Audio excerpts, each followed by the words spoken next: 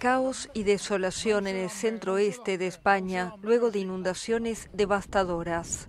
La región más afectada es Valencia, donde el miércoles había carreteras cortadas y zonas aisladas sin telefonía ni electricidad.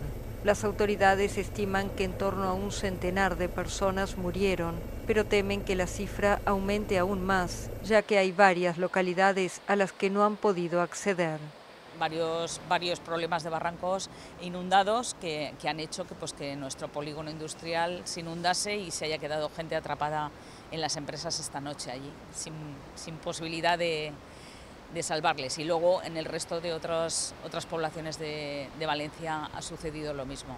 Eh, hacía muchos años que esto no ocurría y, y, estamos pues, pues asustados. La gente ha hecho lo que ha podido, los servicios de, de atención y de seguridad pues también han estado desbordados porque era tan grande la cantidad de sitios afectados que no podían llegar a todos los sitios.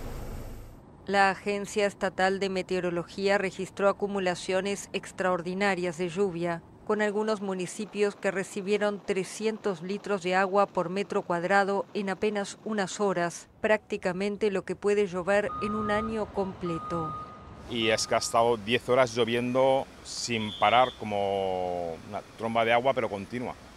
Y bueno, y los resultados han sido, hay poblaciones que han tenido 500 litros por metro cuadrado en 12 horas y el resultado es lo que ves. Eh, estamos incomunicados, no se puede acceder a la parte del pueblo, las carreteras están todas cortadas, puentes cortados, puentes que han desaparecido. El gobierno envió a Valencia más de mil efectivos de la Unidad Militar de Emergencias especializada en misiones de rescate para apoyar a los servicios locales de socorro. El presidente del gobierno, Pedro Sánchez, que visitará la zona afectada el jueves, llamó a los ciudadanos a no bajar la guardia en momentos en que la emergencia sigue.